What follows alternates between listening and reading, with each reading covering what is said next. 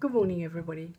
Um, I'm Jean, and today I'm bringing you Psalm 58, and um, it's a it's a horrible psalm, but here goes.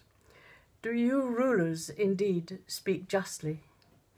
Do you judge people with equity? No, in your heart you devise injustice, and your hands mete out violence on the earth. Even from birth the wicked goes astray, from the womb they are wayward spreading lies. Their venom is like the venom of a snake, like that of a cobra that has stopped its ears, that will not heed the tune of the charmer, however skilful the enchanter may be. Break the teeth in their mouths, O God. Lord, tear out the fangs of those lions. Let them vanish like water that flows away. When they draw the bow, let their arrows fall short.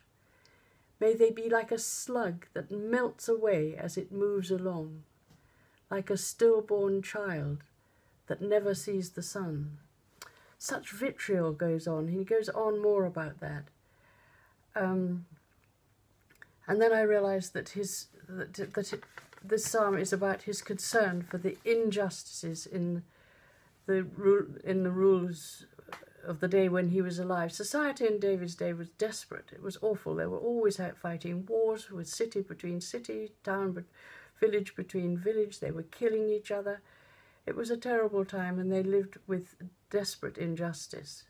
David saw that, and he was looking forward to a better kingdom.